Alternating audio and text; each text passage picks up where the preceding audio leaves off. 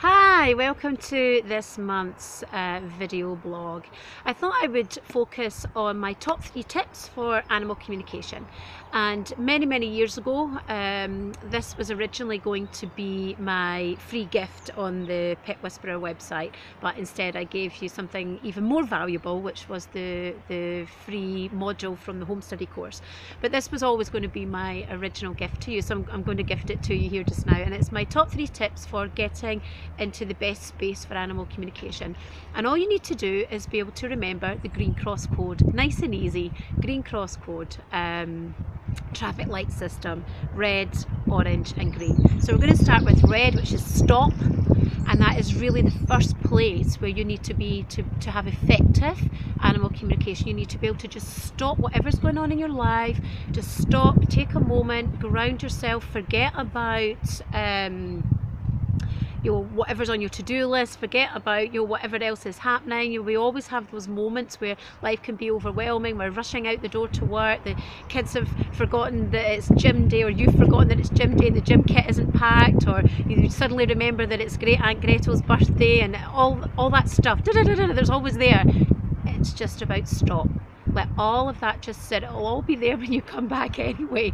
So just let all the stuff that's going on in your life just let it settle. Let it just sit to the side. You need to find your way to park that. My best way to do that is to ground. We use the white light we ground down wrap around the red we bring the red up. It's all in the module. So do the grounding and that really brings you into the moment. So that's the first piece is just, just to stop and get yourself nice and present the second step is amber. This is about getting ready. So you really want to tune into your body, tune into what's going on for you just now. Let that just sit gently at the side. And then you just listen. You listen when you connect with the animals. You listen with every single ounce of your being. It's not like we listen to each other where we're, we're listening with our ears and sometimes we're only half listening because we're thinking about what our response is going to be or we're thinking about something that's going on in our lives. This is about truly, truly being in that place of oneness. So you're listening not just with your ears, but with every single ounce of your body, every single ounce of your soul is open to receiving because remember, our animals don't just use words with us, they use words, they use thoughts, they use pictures, they use bodily sensations, physical sensations, emotional sensations. So you want all of these aspects of you to be open and ready for receiving.